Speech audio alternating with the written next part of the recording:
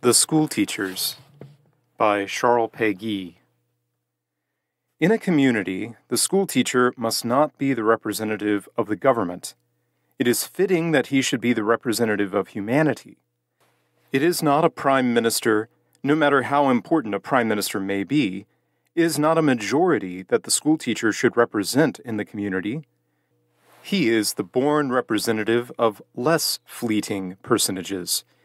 He is the only and priceless representative of poets and artists, of philosophers and scholars, of the men who have made and maintained humanity. He must ensure the representation of culture. That is why he cannot assume the representation of politics, because he cannot hold two offices, two representations. If this is to be, we must have the courage to repeat to school teachers how indispensable it is that they should cultivate themselves.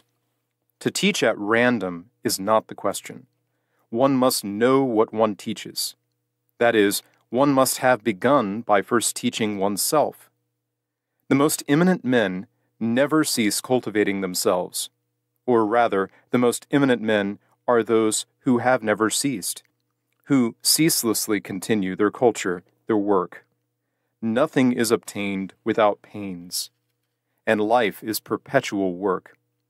Education cannot be conferred, it is obtained by work and is communicated. It is by reading that a man shapes himself, and not by reciting handbooks and it is also by working modestly. We must teach beauty, not from horror of ugliness, but rather by attraction to beauty. Beauty should ignore ugliness, as the god of Aristotle ignored an imperfect world. When one makes children unhappy, one is a criminal and risks killing them. When one makes them happy, one is right, while running the risk of making them silly presumptuous, and insolent.